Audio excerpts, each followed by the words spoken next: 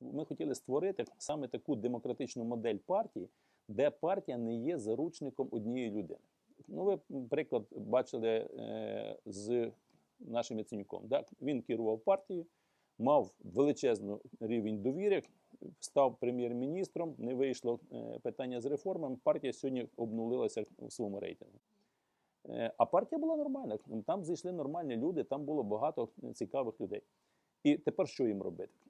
Тобто вони стали всі заручниками одної однієї людини. Ви представте собі, що сьогодні в БЮТі забрати Юлію Тимошенко. Де буде партія, яка 15 років нормально працює, розбудована, е, е, чудово розбудовані осередки. І що? Партія заточена на одну людину. Це не є правильно.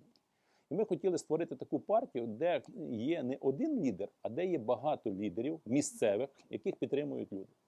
В такому випадку ми маємо стабільність і називається плавучість. Знаєте, як от в суднах є поняття плавучості. При цьому заміна керівників партії на самому е, вищому рівні не веде до завалу всієї партії. І тому у нас сьогодні десь біля 4 тисяч депутатів різного рівня, і е, ми активно працюємо.